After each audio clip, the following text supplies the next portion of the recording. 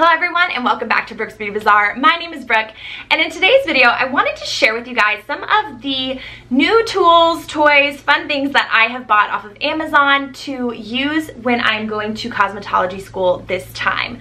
So I got three things, they kind of all work together, go together, and I'm going to go ahead and share them with you right now.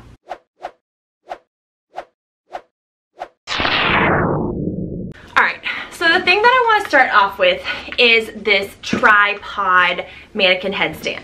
Now, I got this because in school the first time, I was given in my kit a mannequin headstand that just is one that hooks onto the table. And I'm sure a lot of you guys are familiar with those. They're totally fine if you have a high up table, but I am five seven and a half-ish in height. And so for me, I remember thinking that I always wished it could be just a little bit higher and therefore I've decided to invest in this new tripod. This is a golden colored um, heavy duty wig stand tripod. It's supposed to be universal so it fits any kind of mannequin head onto it and it extends up to 45 inches so that's almost four feet which should be plenty of height for um, someone like me so here it is. It's very like heavy duty. And then just like a regular tripod, um, very easy to use. Connector can put your mannequin head on it and it can turn all the way around, so 360. And it also goes all the way down to store. And then you can put it straight up or forward, whatever you need to do with it. And then back here is where you adjust the height. And this is all very, very easy to do, I have to admit. Um, except maybe not. It's a little stiff to start with, okay. Um, I'm not this stupid, but I don't know how this is not working for me. So it extends from here, but you're gonna have to like pull it up really, really tough to get out. And then it has this extra piece where you can hook into the holes right here. Um, which is I guess just for added stability but I'll be honest with you I don't think it does anything because it's so flimsy in there. It's probably like as you're working it's probably going to fall out. Now the stand does extend to the height that it said it would and everything. It is the tallest height at the actual tip um, where you put the connection for the mannequin head. Um, but I did just want to say, if you buy this, just beware that you might struggle to get this extension um, to pop out because it took me forever.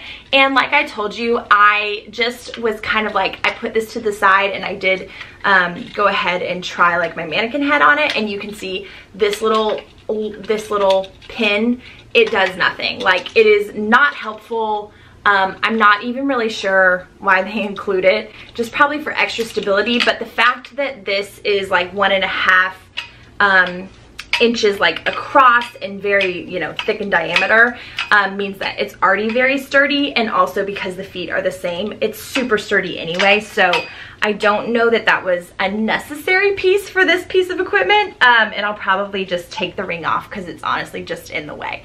Um, but other than that, first impressions, this seems like a pretty good stand. Just be patient with yourself as you try to make it work for the first time. All right, so I'm gonna go ahead and open the mannequin head that I bought. Now this mannequin head is going to be one that is just for styling. It's not real human hair, it's just synthetic. So you can heat it up to 110 degrees, it says. Um, but I'm gonna be like cautious with that and probably mostly use it for learning, braiding, updo techniques like that, and maybe practice cutting as well. Now, this mannequin head ran me $15.99 and the hair on it is supposed to be 26 to 28 inches. This is pretty much a standard like um, mannequin head size that I would get on all my old ones when I was in cosmetology school the first time. She looks a lot like them.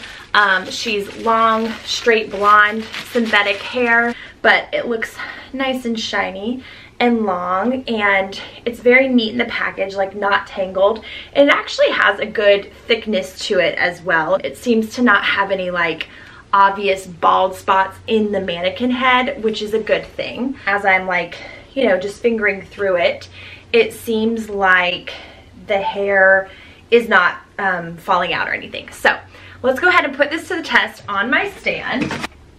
And let's see if this thing is as universal as it says. Um, All right, seems to be. And I'm going to use my handy dandy dress tape measure to just test and see. So we wanna go all the way from the top, the crown right here to the end and see if the length actually like reaches 35 inches. So that's pretty darn long.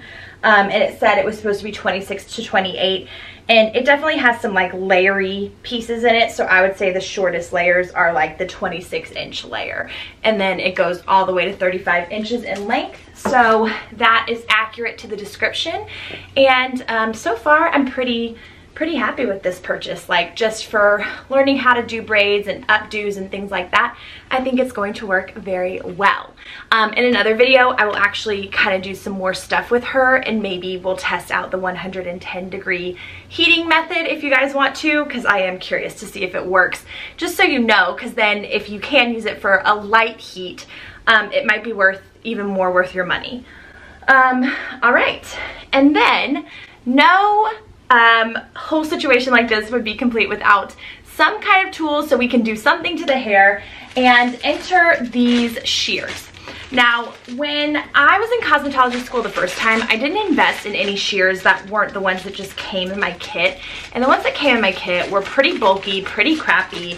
I didn't really enjoy them, but I just accepted them for what they were because I didn't know any better.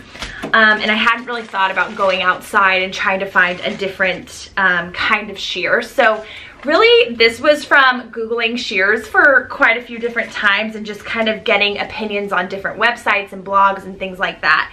And um, these ones you can actually buy at Sally, but they were also available on Amazon for like two or three dollars cheaper so I went ahead and got it with Amazon because then I would get my two day shipping because I'm a prime member and all that stuff um, but they are the Shear Expressions and they're the Hey Rosie, so they're like a rose gold with pink like inlet in the um, finger holes.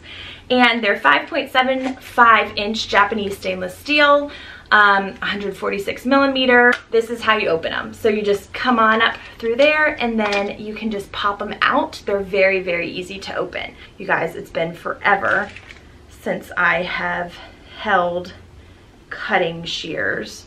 Um, I believe, I can't, I can't remember. I think your pinky goes on the little uh, tang part right there.